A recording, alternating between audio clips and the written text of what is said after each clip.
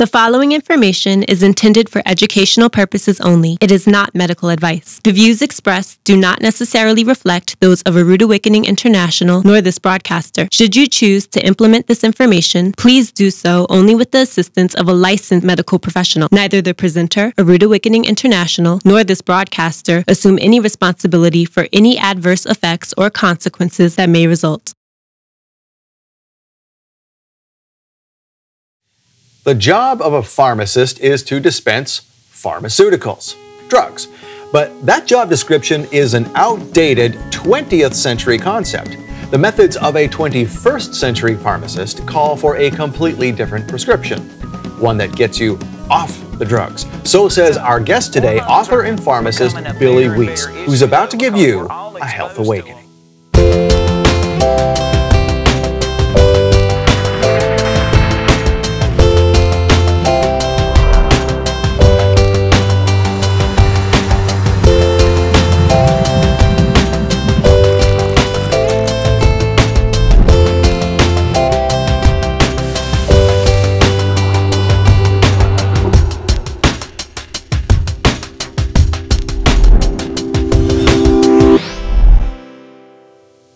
Welcome to The Health Awakening. I'm your host, Scott Laird.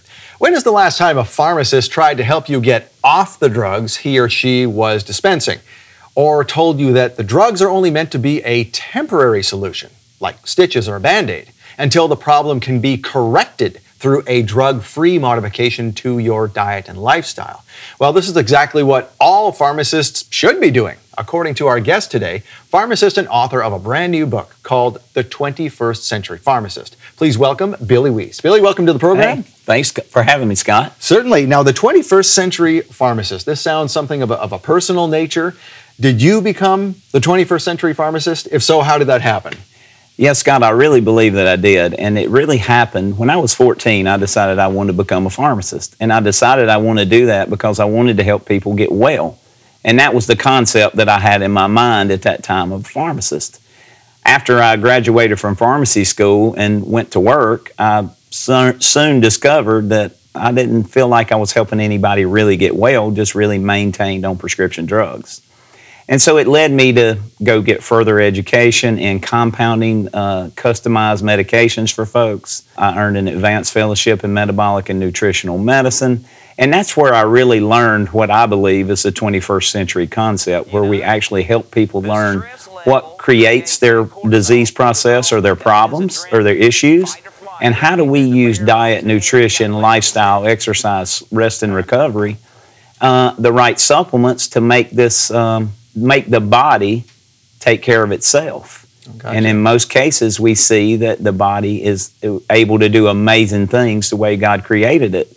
I think that we get in the way with the things that we do, um, you know, with as the choices that we make. Okay. Yeah, as as well, not so much as pharmacists, but just as general population, the choices that we make, the mm-hmm. the branding that we're taught, the the commercialization of food and uh, just all the things for convenience, mm-hmm. and we sacrifice our own health by doing those things. So we get in the way of our own progress. Really. I think so. And we're yes, shooting sir. ourselves in the foot. Yes. Okay, well, what does it mean then to be a 21st century pharmacist? If you were to train someone else, this is how you be a 21st century pharmacist.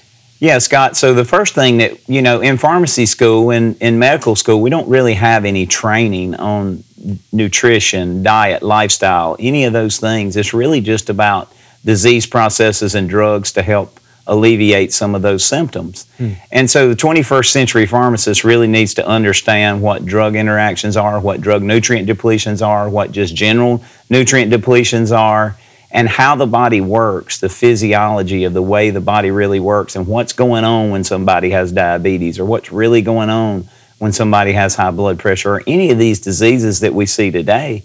And how do we help the body correct those things by making the right choices? And so it's really a concept of your opening was to help people learn how to be able to minimize or eliminate their prescription drugs. Of course, always working with their physician as a 21st century pharmacist. I believe a big part of it is to be an extension to the physician and to be an extension to the patient to help bring everything together for the greater good of that patient and their health. You, do you think that a lot of pharmacists got into that rut that you did? That yeah, I want to help people, and then you get into the daily grind of you're just putting prescriptions and counting them out and putting putting them in the in the in the pill bottle, and that's it. Absolutely, Scott. I mean, it's the way the system is designed. It's what happens. It's what we're trained to do in school. My wife's mm. also a pharmacist, and that's what we're trained to do. It just was not meeting what my goals were to help people get well. It wasn't what I wanted for my family. It wasn't what I wanted for the, the people who were coming in to see me on a daily, a weekly, or monthly basis. And so, yeah, it's very difficult. And I, I think that unless a pharmacist thinks we'll call it outside the box, mm-hmm. that it's very hard to get out of that rut and that routine that, that most pharmacists are in today. Do you think a lot of them just secretly want to help people more? They're, they're going through going, you know what? And they come to the same realization that you did that this just isn't working. It's, this isn't helping anyone. I think they do, and I think a lot of that problem is education, though, again, it's not taught in the schools. So mm. while we may want to help as pharmacists, we may not know what to do if we're not given any instructions on vitamins and minerals and rest and recovery and exercise and what all those mean based on science what foods really make a difference and not what the food pyramid says. Mm-hmm. It's very tough to understand or to teach people to understand those things if you don't know them yourself. You know, I've heard that from other physicians and, and just in the, uh, the natural health realm uh, you know, and you hear these things, you're never sure if it's a, if it's a myth or not, that there's very little nutritional training in med school. And, and you you've gone through it, so and you say there literally yes, there's there's no med there's no training in nutrition. Well, I can tell you, Scott, as as somebody who's graduated from pharmacy school 27 years ago now, I just hired a pharmacist, Cole Moore, mm-hmm. who just graduated in 2016 from pharmacy school he had no more nutritional training than I did. And I just think that that's a travesty today wow. with all the things that we know and with all the new information that's out there about using vitamins and minerals and foods to help our bodies heal themselves. It's just it's crazy that it's not taught. So mm he did an internship with me and was blown away by what I was doing. And he said, "Where did this come from? That's not what a pharmacist does." and I'm actually working with a couple of pharmacy schools to hopefully make this a part of their curriculums. Oh, that'd be wonderful. Uh, to teach the OptiLife program, the wellness aspect of what a pharmacist should do, the 21st century concept. Right. Uh, they're very open to it, um, so we're talking about making that happen. Wow, that is excellent. Okay, we're talking with our guest today, Billy Wease, about how to be a 21st century pharmacist. Uh, and we're going to help you get off your drugs and get back onto health. We're going to take a short break. Stay with us. We'll be right back.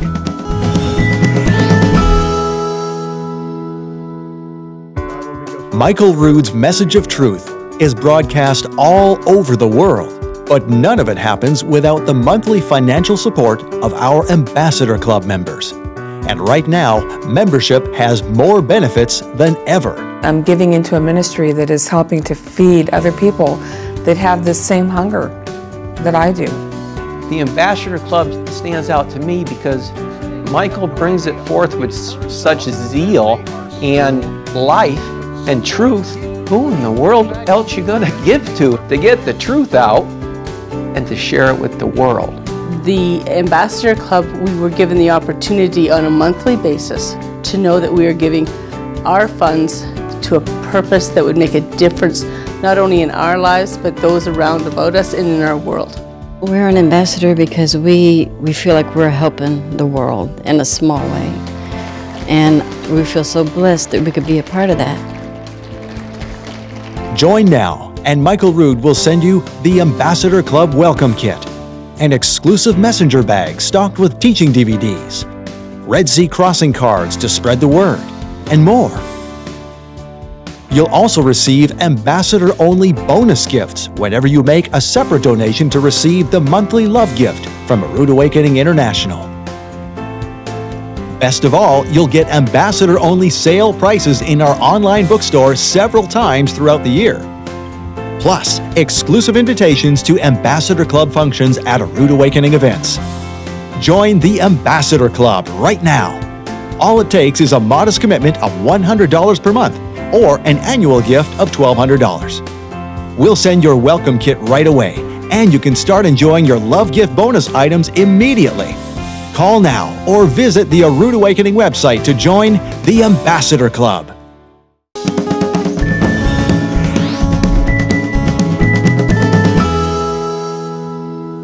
Welcome back to the Health Awakening. Uh, before the break, we were talking with our guest Billy Wease about what it means to be a 21st century pharmacist, uh, getting out of the old way of doing things and getting back into what does it really mean to be healthy and how can health practitioners help people do that. Uh, and Billy, before the break, we were talking about uh, nutrient depletion. We touched on it a little bit. Uh, we always see these commercials on television where a certain drug can cause death or this or that or the other thing, the really scary side effects. But we are never told that this same drug can deplete your body of certain minerals, and that in itself can be dangerous. So, what are some common uh, depletions that drugs would cause? Yeah, some of the most common ones are like the drugs for um, the stomach upset, for the antacids, the purple pills, those mm-hmm. kind of things and they deplete our body of magnesium and they can start to deplete our body of B vitamins and mm. so uh, vitamin D.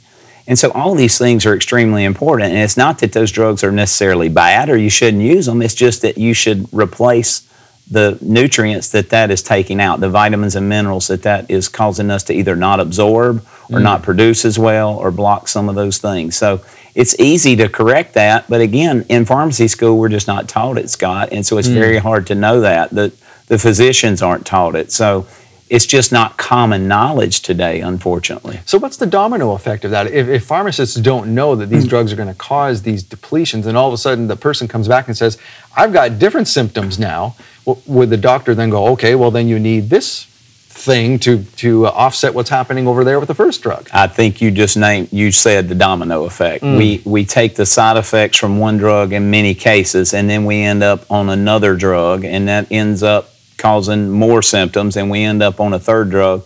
The average senior is on 7 or more drugs today. And so we just have to look at that. And when we know the side effects of the drugs, many caused by these nutrient drug nutrient depletions that we're discussing, it's no wonder that we just have a system that seems to not work well at this point. So that that is really then uh, maybe the cause of, of some of these other uh, prescriptions is just depletions of, of minerals that were not uh, picked up on that the, that the physician or, or and or the pharmacist didn't stop and think wait a minute maybe that's because this and this is happening. It's certainly a contributing factor at this point scott and i think mm. all the evidence and all the research leads to that. I mean there's no question. I have lots of um, uh, references in my book to these things and how that works and, and why it's it's just again in the 21st century I don't think it should be that way in a modern society like ours. Right now, speaking of a modern society, we've got all kinds of stresses on our body and we don't eat the way we should. Uh, obviously, these things are causing depletions of certain uh, nutrients in our in our bodies as well. Uh, so, aside from the drugs, what are some other common uh, nutrient depletions that you see in in people's bodies that even if they're not on meds. Yeah, it happens all the time. Of course, as we age, that can happen as we have different disease processes, stress, you mentioned, not sleeping well, not eating well. But some of the more, probably the most common is magnesium. Mm-hmm. At the age of 24, most folks are already magnesium deficient. And magnesium has over 300 positive functions in our body. And so we have to look at replacing those kind of things. Magnesium is tremendous for sleep, uh, prevents our muscles from cramping, it helps regulate heartbeat. I mean, it helps the body uh, uptake glucose or sugar mm. and insulin. I mean, all these functions that are extremely important. It helps produce energy, it helps the brain work. And if, you know, at the age of 24, most of us are already deficient it's a simple, easy, inexpensive fix when we use the right forms of magnesium that will actually penetrate the red blood cells and, and do the trick. And so it's a simple fix to something that could be causing migraine headaches, could be a magnesium deficiency, sleep, restless legs. Magnesium deficiency could be the cause. Not sleeping. Magnesium deficiency is often the cause. Mm. So we can take what seems to be complicated problems and simplify it with magnesium. Now, uh, speaking of which, you mentioned uh, muscle cramps when, when you're sleeping. Mm-hmm. Is that the same thing that's happening to football players when they come off the field and they, they cramp mm-hmm. up? I mean, we often attribute that to dehydration, but really at the root cause, is that magnesium? Yeah, it's definitely going to be an imbalance of magnesium in mm most cases. Sometimes potassium is an issue, and that's what we always typically hear. but most of the time it's actually a magnesium deficiency. So their electrolytes are out of balance. Their Right. nutrition is missing something somewhere. But Gatorade is not necessarily the. It's probably not the best way to do it to today. Correct. All That's right. correct. Okay, well, uh, you mentioned that, that, that drugs are meant to be a temporary measure uh, in your book, like stitches or a bandage. Uh, is that a reality? I mean, I mean, can people truly get off meds if they've been told that you're just going to have to take this for the rest of your life?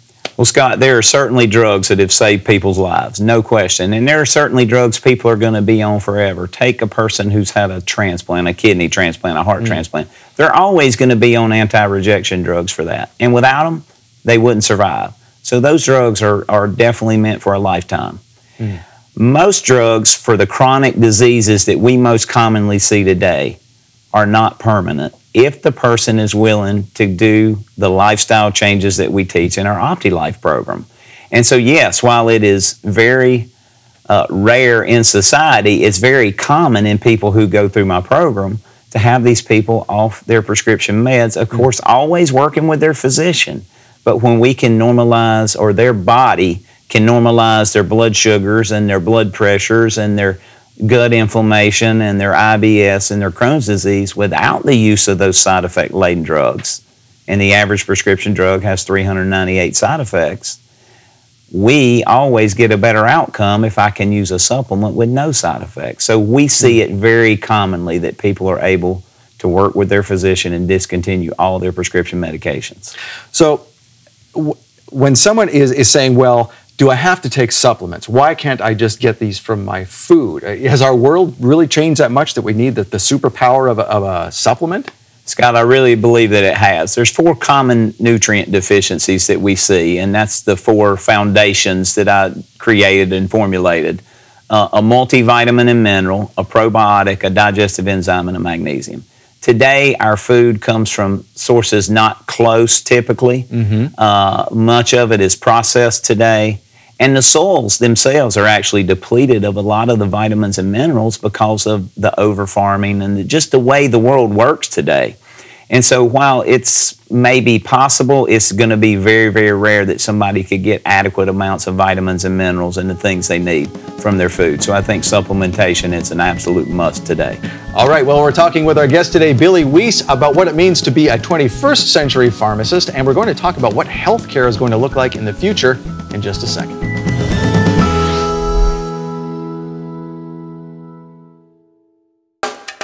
Michael Rood's Love Gift Teaching Series, The Ministry of the Messiah, is among his most popular series ever. And now there's a way to ensure you get every new episode every month. Introducing recurring love gift donations. When you set up a recurring love gift donation of just $100 per month, you'll receive every love gift every month automatically. You'll get Michael's latest teaching in the Ministry of the Messiah series and each month's bonus gift. Plus, as an exclusive extra, you can get any teaching you've missed in the entire series from the first episode to the current episode. This special offer is only for those who set up recurring love gift donations. Call now or visit the Love Gift webpage to set up your recurring love gift donation. Every teaching, every gift, every month. Plus, access to any teaching you've missed along the way. Do it now and never miss out again.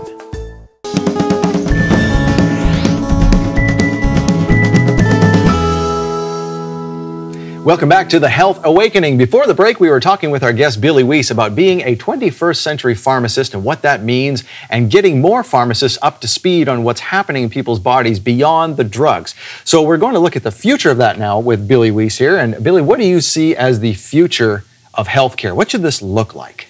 Yeah, Scott, I think it starts with each individual being the CEO of their own health. They have to be proactive. They have to know the things that they need to know. They can't depend on the pharmacy community, the medical community, the nursing community, the nutrition community to tell them what is good. They need to research. That's the reason I'm writing the book. That's the reason that I created the OptiLife RX mm-hmm. program. Because if we don't, I mean, in America, we're going in the wrong direction, it seems, with heart disease and with cancer and with diabetes and with obesity and overweight. I mean, these things are out of control, even in children. Um, So I think when you look and childhood diabetes has increased over a thousand percent in the last decade, and, and we see that one in two Americans now are insulin resistant. I mean, we just see all these problems, and nobody is really taking a proactive way to try to create an environment where we don't have all these diseases in America and where we reduce the risks. So the OptiLife program that I've created is based on five simple pillars. God-given quality foods, the world's best nutritional supplements, uh, and that's where I talk about my four foundational supplements. Mm-hmm. Uh, the right water, the right science-based exercise, and rest and recovery. You've mentioned earlier how busy we are and how stressed we are in America today. And if the body can't recover, it's going to break down. It's no different than our vehicles. When you go to the car lot and you buy a brand new car, that car has all the fluids and all the parts and pieces and all the things that it needs to run efficiently. And over time, you have to have those things checked, right? You have to mm-hmm. have checkups, you have to have oil changes, you have to do these things.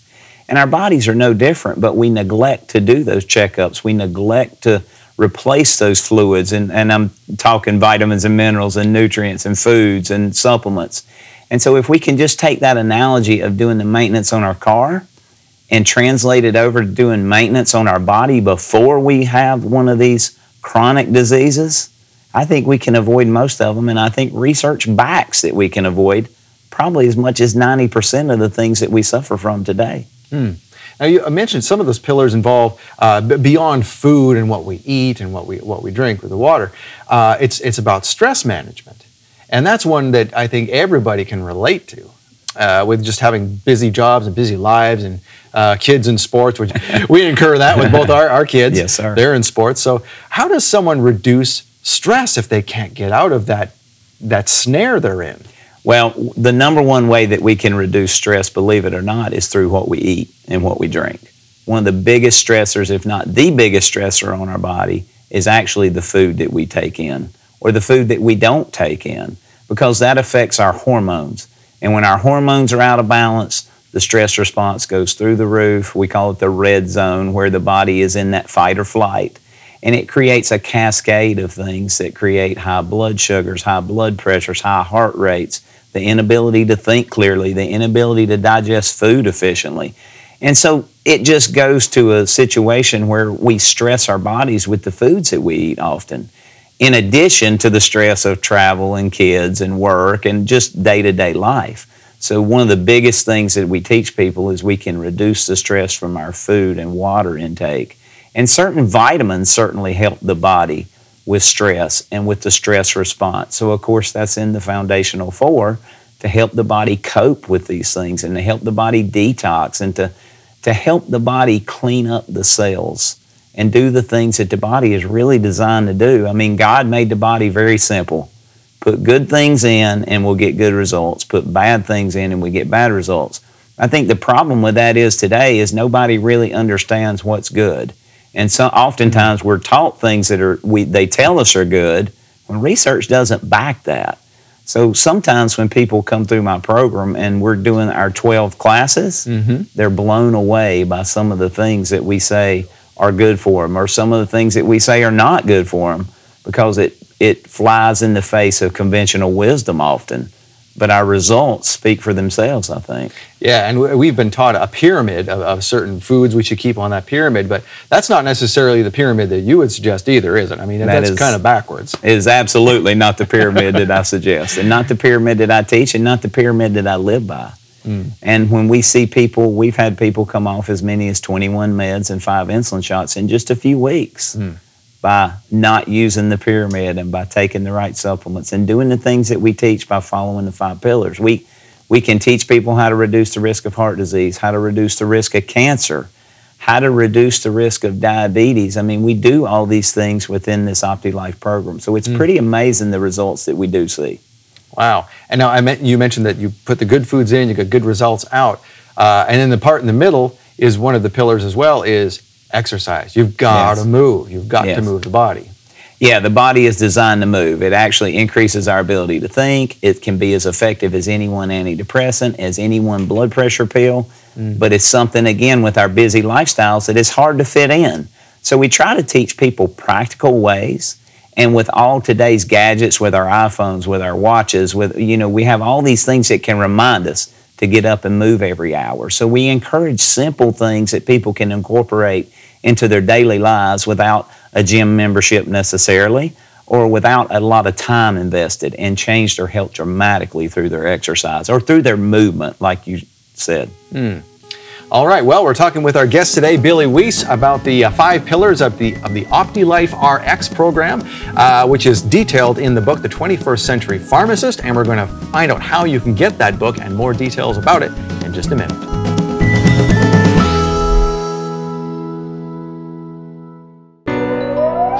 The lives of Israeli victims hang critically in the balance following events of terror, violence, and war.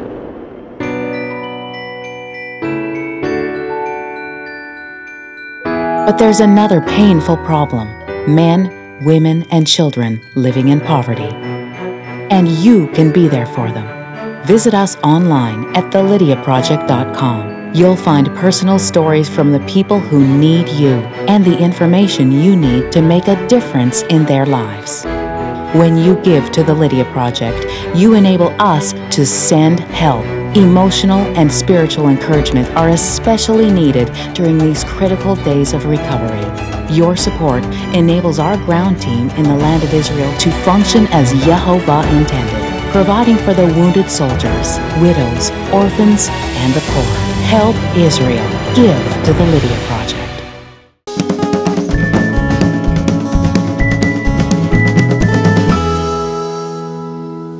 Welcome back to the Health Awakening. Before the break, we were talking with our guest Billy Wease about being a 21st century pharmacist, something he has transformed himself into and written a book about his experience, The 21st Century Pharmacist. Uh, Billy, what's what's in this book? We've got the five pillars we mentioned. What are they again?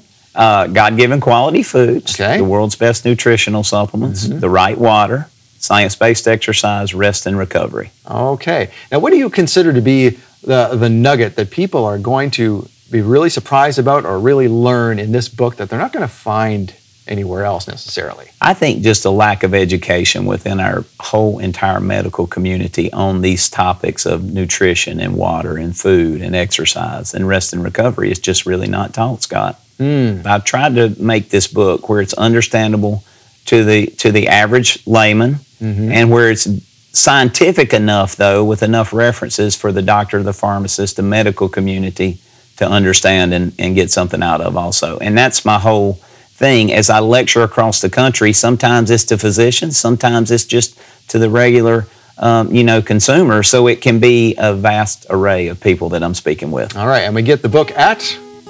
OptiLifeRx.com. All right. And we're also, you can find us on Facebook, YouTube, social media sites. All right. Well, our guest has been Billy Wease, the 21st Century Pharmacist. Thank you for joining us, and we'll see you next time on another Health Awakening.